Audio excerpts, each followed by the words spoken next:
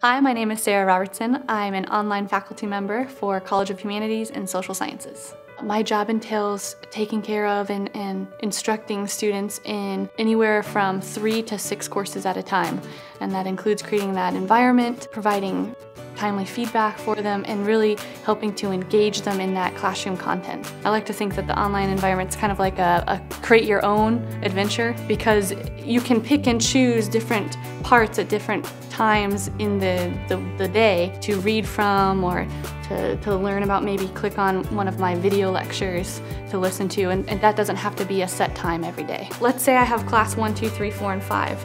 On a Monday, class one and class five that particular week may need the most attention and I'm able to really delve into that class and provide them more time that day um, and then kind of rotate or switch around what I do the rest of the week. And that's been very beneficial because I can really get to those students' needs that particular day or that particular week. I think there's always going to be a need for traditional learning environments, but online is where it's heading.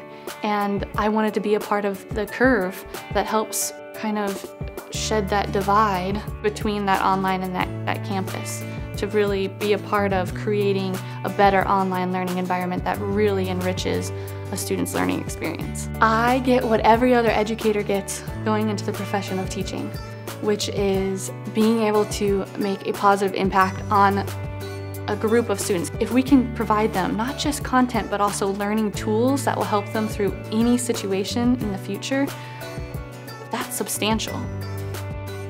Thank you.